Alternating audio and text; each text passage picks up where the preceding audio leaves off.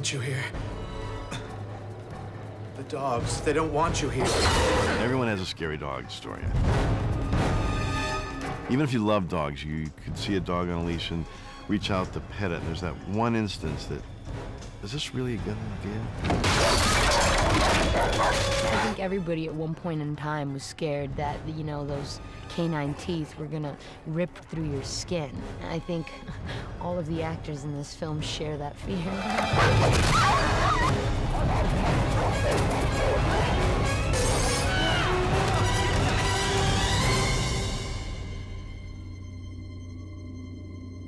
You know, it's funny. I mean, I, I started with George Romero and then worked with Wes Craven and John Landis, so I have a long history of horror in my personal life and professional life.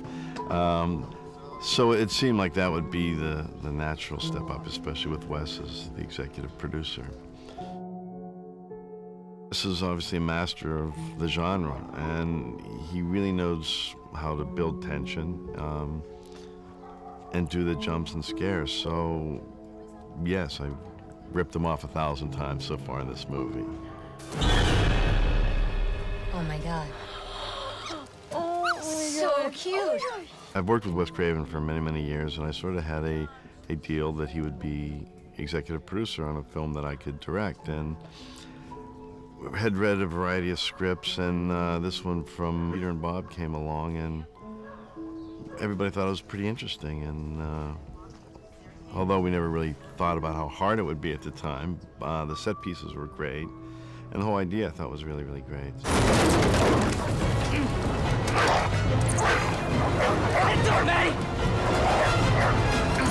The story's about a group that uh, go to this small wooded island, um, just basically for a weekend getaway.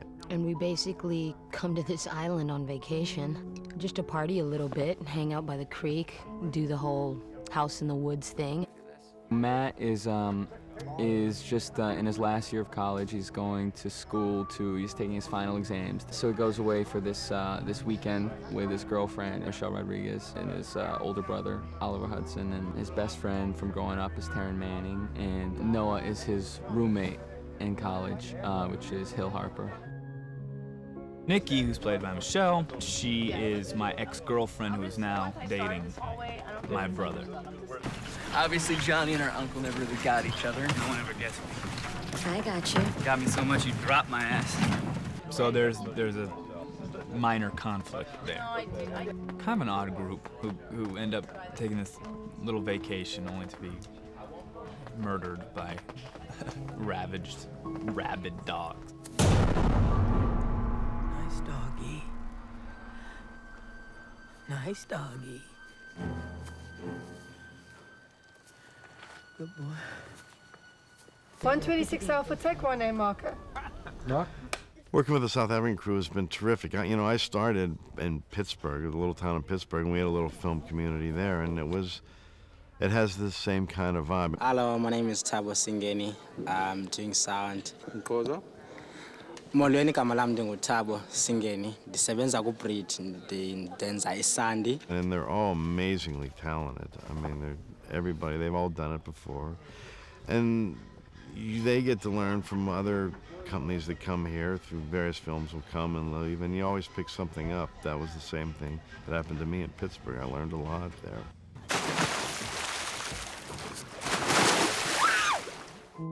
Locations are amazing. I mean, just being in South Africa. Is, problem is I don't have, I can't do anything because we're working so much. Cape Town was amazing. Um, now here, which is beautiful. I mean, you stare up at the mountains and you're just like, I can't believe I'm here. I mean, and the appreciation for the land here is just so amazing. People really respect, you know, Mother Nature here. George basically worked as our exterior location for the house and the garage. And uh, so we shot all our exteriors up there. We had stages in uh, Cape Town for the interiors of the house. And the compound had to have the same feel that we had in George, so we had to go a little bit away from town. And this vineyard has the right combination of foliage, the pine trees, and, you know, the other trees here, so it's a nice mix. And it looks beautiful. The movie, I think, looks bigger than the money we had, quite honestly. And a lot of that was the art department and Giulio Biccari, the DP. One of the challenges of this film w- was that we were keeping everything real. We had minimal visual effects. One or two times where we actually needed to composite um, a dog, j- you know, jumping through a window. But first, we're gonna stay in here where it's safe. We're gonna let the dogs disperse. All right? Then we're gonna get in the plane and get the hell out. My first question before I did the movie was, are, are these dogs going to be real or are they CG? Because it was, that was my decision. Because if they were going to be computer generated, eh, we've seen it before. It's been done before, and you lose, you know, you lose authenticity. So the fact that they were real dogs was definitely a big selling point for me.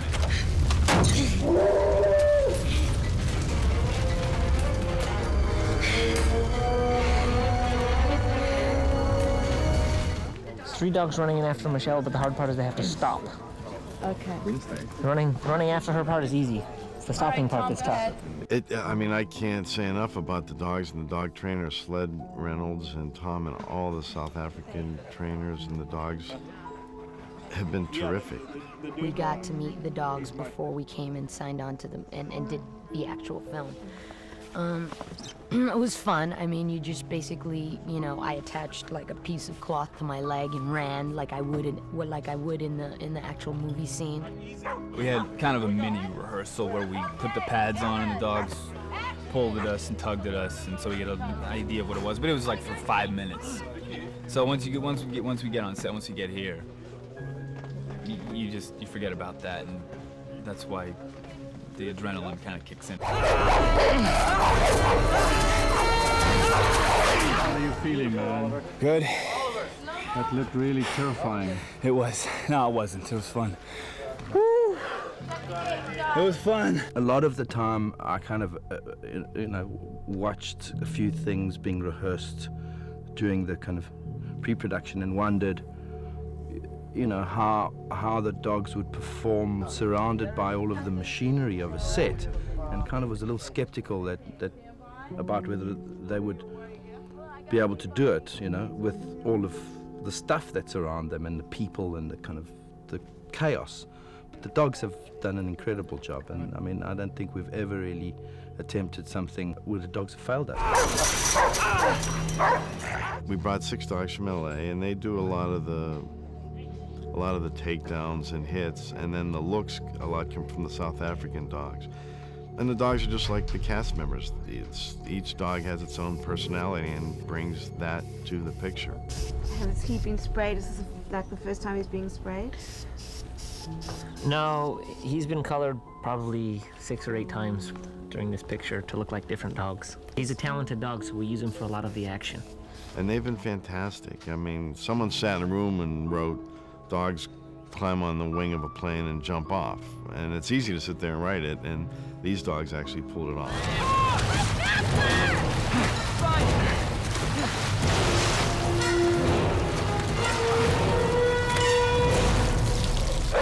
You want to pet them and love them, but you just have to stay away. And they're amazing. I mean, they're friendly, friendly as hell. I mean, they roll camera and they're crazy. You know, so well trained. What's it like waking on the breeze? When you see these dogs go and like run at you, like they want to rip you apart, and then somebody says cut, and all of a sudden the dog is just like panting with its little tongue hanging out, it, it's endearing. I guess I'm starting to like dogs. I mean, I've seen the, I've seen a lot of the uh, the real kind of affection that goes on between the trainers and the dogs, and there's that kind of real there's there's real love there, and it's just quite touching sometimes to see it. Well, like I said, it's always a little bit nerve-wracking if you're sending dogs in on a bike because they're padded, the, the actor's padded in particular places, so the dogs need to go to that spot in order for the actor not to get bit. So, yeah, it is a little bit nerve-wracking, but it went great. Dogs were super. And so they're getting little treats. Here you go. Sit.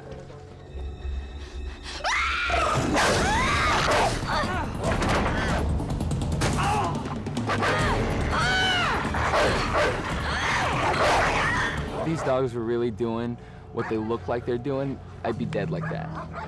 They say, oh, the dog's playing, and it's foaming at the mouth, and it's hard to imagine they're playing, but you gotta know that if the dog was really wanting, you know, that crazy dog was really wanting to rip your arm off you, it would have been gone. You learn certain things you can't put too many dogs together in one place. You can't get this group riled up.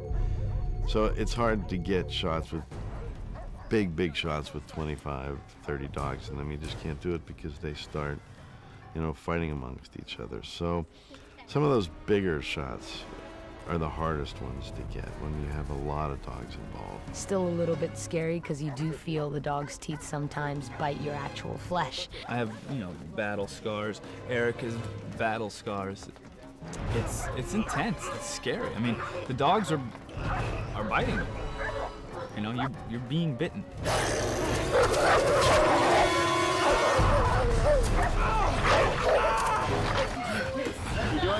Just talk to us if you have a great any grief. Eric Lively has been bitten more times off camera than he has on camera. they just seem to attack him. He'll be at the craft service table just between breaks, and all of a sudden some dog will just jump out of nowhere and like puncture his arm. This is the real deal. All right. All right, show us your injuries. This is about a week old. And that There's a one. real blood wound. Where is it? And these ones. There's a real one here. That's a real tooth puncture. This is a real tooth puncture. you know, they see me and they recognize me and they recognize the suit and they they- they're supposed to go where it's padded over here for the arm, but you know, one dog went for my neck where he went another time and like you know, bit the crap out of my neck, um, and um, you know, trying to coordinate all of this, um, what the dogs are gonna do and, and trying to get the lines. You're so concerned about, you know, where the dog is biting you because he has to be on a specific leg or a specific arm, and you have to keep it alive. Because if you if you if you let your arms or legs just die, they're gonna die. And the actor did a very good job of just playing it like he was being killed and screaming and hollering and flailing. It looked great. So you have to keep it alive as much as they do. So you kind of forget to be afraid because you're thinking in your mind, okay, I got to keep this arm going, I got to keep this leg going. So you kind of forget that you have to scream and and and play like you're being attacked by three dogs and you're bleeding and it's, it's vicious, you know. So I've caught myself a few times wanting to do a, another take because I forgot to do that. I forgot to actually act because I'm so concerned about, you know, positioning where the dogs are.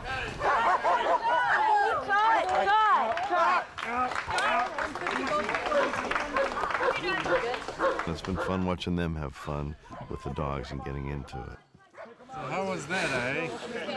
Piece of cake, Were those real dogs?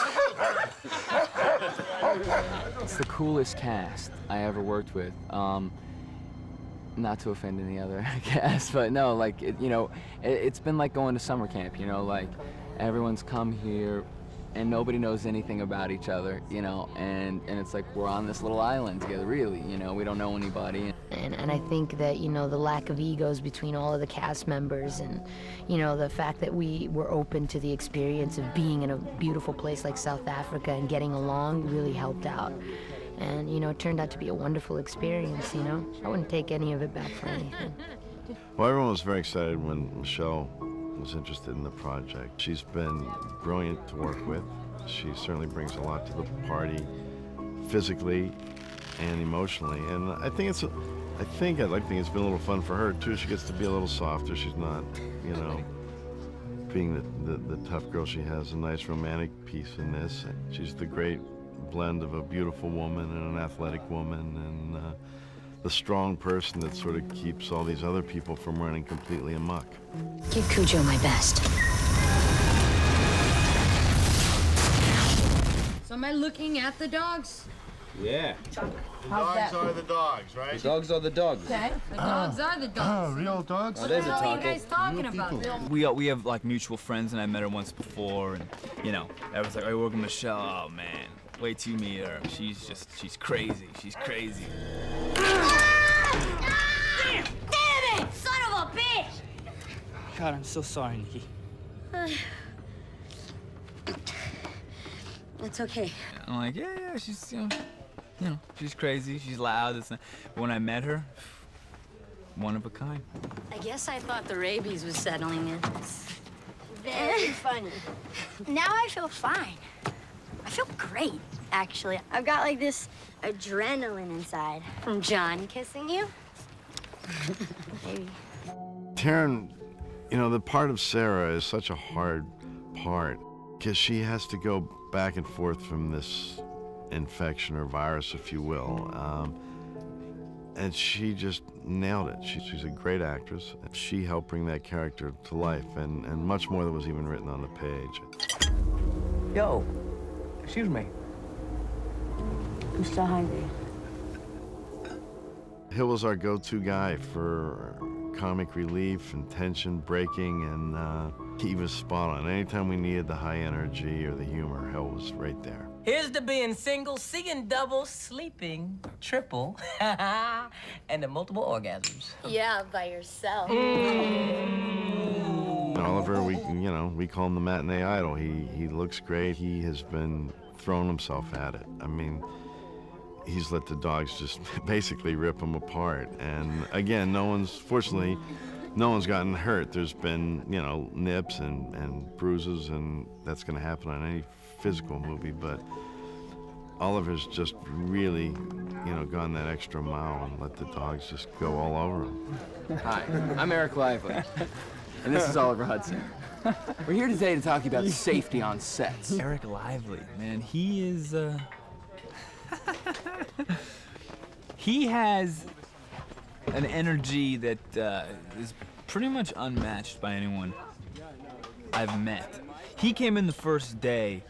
We haven't even met him. First of all, he arrived in Cape Town like the day before we were supposed to shoot. And he came in the first day, sat down at the table, immediately broke out his scripts, and started rewriting everything. so I'm like, all right, all right. I like, I like the enthusiasm, right? What's that smell? They've marked their territory. We're the ones trespassing now. Eric got here at the last minute. It was like, hi, Eric, I'm Nick, and action. And uh, Eric worked really, really hard. I mean, he's put in a lot of time, a lot of homework, and really gone through the script, and it's been very, very helpful.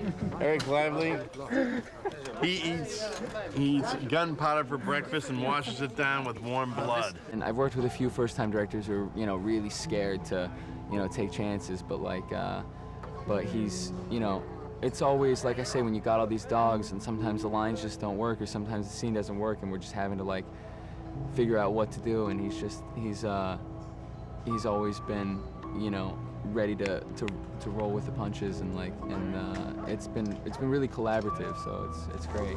Oh God, Nick is so cool, man. You know, for a first-time director, I think the guy's got serious balls, you know, because he'll go and take chances, you know, and, and that's rare to find. And, uh, you know, I appreciate that, that he trusts us, you know. A lot of directors may have their vision and, and they put that into action and that's all they can think about. And they don't let any kind of outside creative forces come in to kind of help with that. When really you make a movie, the, the best movie you're gonna get is when everyone can put their two cents in without there being too many cooks, you know, in the kitchen.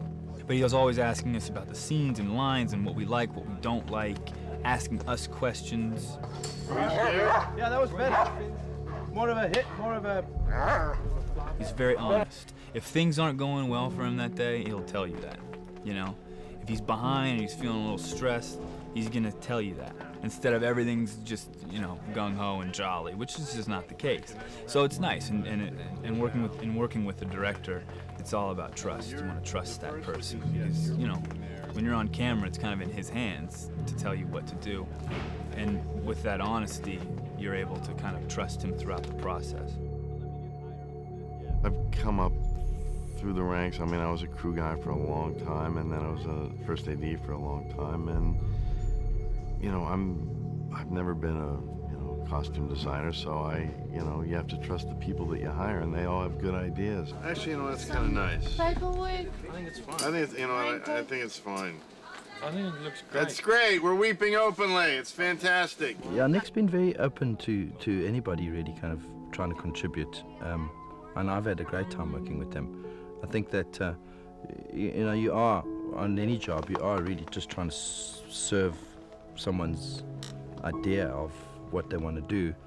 And I think if they, if they um, are gracious enough to invite you to um, participate with that, then, then, then, you know, you've got a great relationship already. We've all worked real well together. I mean, no one has any egos here, and we just, it's just been fun. It's been a fun sort of family type effort, and I really enjoyed that.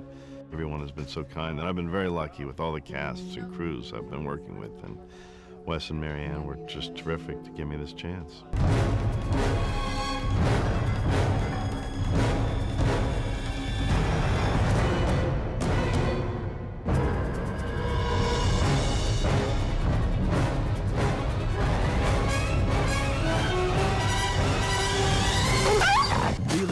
There's a lot of horror out there. You know, a lot of it's supernatural. Um, a lot of it is based in some kind of fantasy, but this was real. When you see these dogs, they're real, and they're really biting, and they're you know really interacting with the actors. So it's just nice to see that. You know. Let's go! Let's go! Let's go! I think that everybody understands fear, and I think everybody understands survival, and I think everybody understands like loving somebody and seeing them die, and what that would feel like, and and the need to survive beyond anything else, the need to figure out how to get away, and that's all it is. I, I like making this movie. I think it's gonna work out great. and I hope everybody enjoys it. there's great horror, there's sm- there's smart thriller, and this classifies as, you know, go to the movies, get ready to be scared, and have a good time. You know. Good, let's do it again.